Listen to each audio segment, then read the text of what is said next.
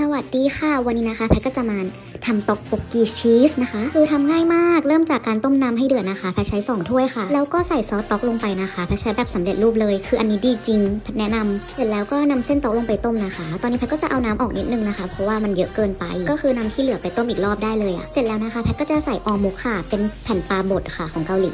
แล้วก็จะใส่ตัวไส้กรอกลงไปด้วยไส้กรอกตัวนี้คืออร่อยมากนะคะ คือแพทกินมาตั้งแต่เด็กเลยร้านนี้คือเปิดมาตั้งแต่สงครามโลกอะเสร็จแล้วก็ต้มจนกว่าแบบน้ำมันจะดูงวดขึ้นนะคะ แล้วก็ใส่ชีสลงไปแล้วก็ปิดฝา